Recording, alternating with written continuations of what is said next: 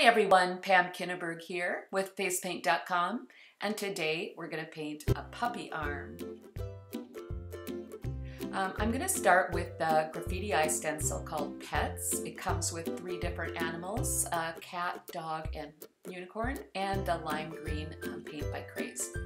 Um, one of the things we get asked a lot is to do kitties and puppies, and we are used to doing them on the face. But when asked to do them on the arm, I always drew a blank in the past because what do we do, you know, we paint the body? Do we paint just the head? How are we going to do that? Because it's so different than what we paint on the face. So this is a perfect solution for those requests. I'm just dabbing on some, you can put it in any color. I chose green. And then I'm going to spritz it with Mama Clown Iridescent Glitter.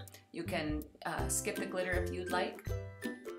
I'm taking the Nebula um, Kraze Dome Stroke with a 3 4 inch flat brush and I'm just going to create a real angular um, um, stroke with this, um, with this one stroke, kind of more of a boyish um, design rather than a girly one. And um, I'm just going to kind of repeat that shape on the other side.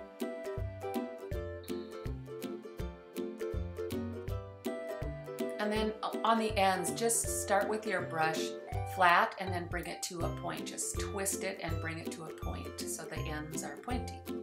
And then now when that paint in the middle has dried, I'm going to use this cute little face on this stencil uh, with Kraze Black and put that on. These faces are adorable, so, um, and they're really, really fast.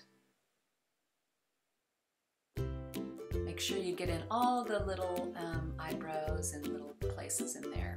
Then I'm just choosing a paw print to add to this background. And there's lots of little things on this stencil. There's paws and bones and little stars. So you can choose whatever you'd like.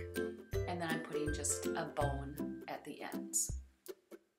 Now I'm going to take a number two Kraze brush and outline this little puppy. This will help uh, make it be um, visible uh, rather than just leaving it green. This will show the edges.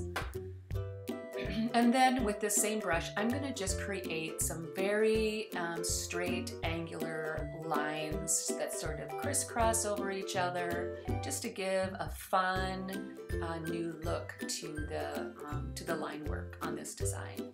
You can kind of just um, do what you want and um, fill in those blank areas. So um, just do the same thing on both sides.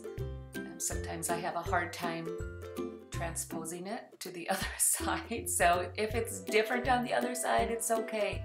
Don't stress about it.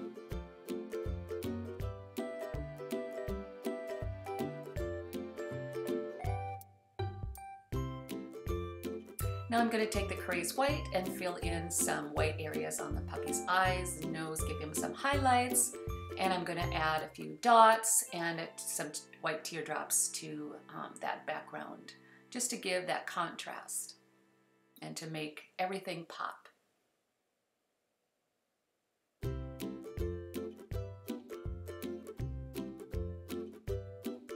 Some little starbursts. And finally, I'm going to add the Wild Bloom Vivid um, Glitter Cream, just as an extra little add-on to this. Of course, you can skip this part, um, but it always adds to the um, glitteriness of this design, makes it sparkle and fun. There you have it, a fast little puppy arm design that, oh, the kids just love this one. Happy painting, everyone.